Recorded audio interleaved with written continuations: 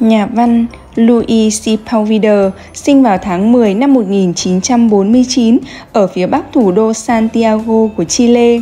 Ông qua đời tháng 4 năm 2020 vì mắc Covid-19 khi trở về từ một lễ hội sách ở Bồ Đào Nha.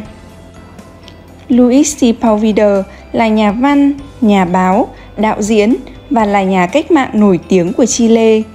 Ông được mệnh danh là người viết ngụ ngôn hiện đại. Các tác phẩm của ông miêu tả về cuộc sống bình thường ở Mỹ Latin với giọng văn duyên dáng, hài hước mà giản dị.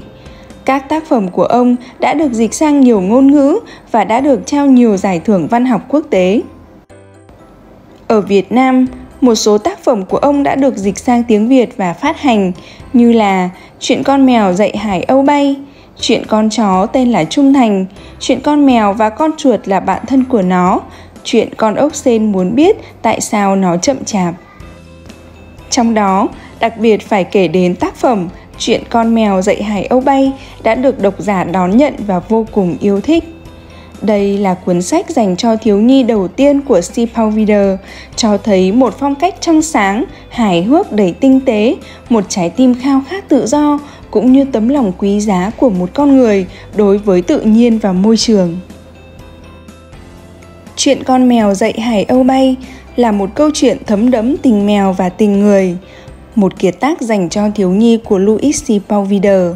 Đó là một câu chuyện khiến tâm hồn ta nở hoa, một thế giới vẹn nguyên trong sáng và nhân hậu sâu xa một cuốn sách như viên ngọc khó tìm dành cho mọi trẻ em và người lớn mở đầu câu chuyện là những hình ảnh tươi đẹp yên bình và đầy ấn tượng của các nhân vật là sải cánh tự do cùng vũng cá trích no đủ của đàn chim hải âu trên biển bắc là hình ảnh của con mèo muôn to đùng mập ú Joba.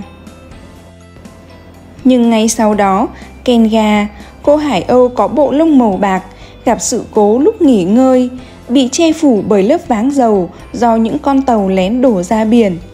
Cô đã dốc hết sức bay lên, bay xa hơn nữa để đến được ban công, nơi mèo Joba đang sưởi nắng. Cô dành những sức lực cuối cùng để sinh ra quả trứng, giao lại cho Zoba cùng với ba lời hứa mà Zoba phải thực hiện. Con mèo sẽ không ăn quả trứng, trông nom quả trứng tới khi chim non ra đời và sẽ dạy cho con hải âu bay. Mặc dù là chuyện vô cùng khó khăn với loài mèo, nhưng Zoba đã hứa nên nó phải giữ lời. Chúng ta đã bảo vệ con từ khoảnh khắc con mổ vỡ lớp vỏ trứng ra đời. Chúng ta đã dành cho con sự chăm sóc mà không hề nghĩ đến việc biến con thành một con mèo.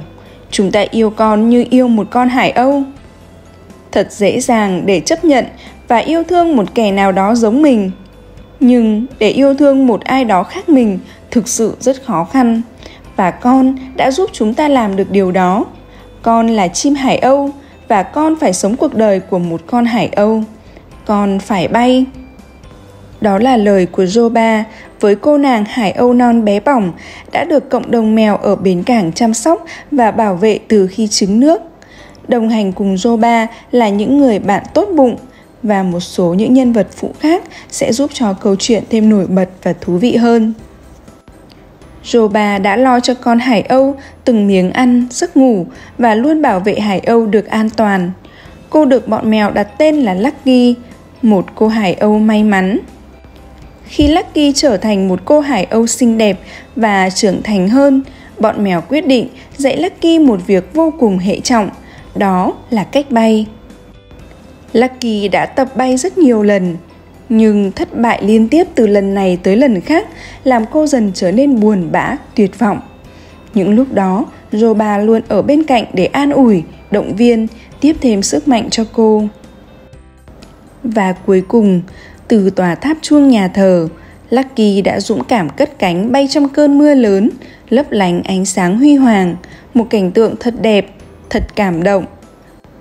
Còn dô ba ngồi đó dõi theo con hải âu cho tới lúc nó không biết những giọt mưa hay nước mắt đã phủ mở đôi mắt màu vàng của con mèo muôn to đùng mập ú một con mèo tử tế cao quý một con mèo của bến cảng.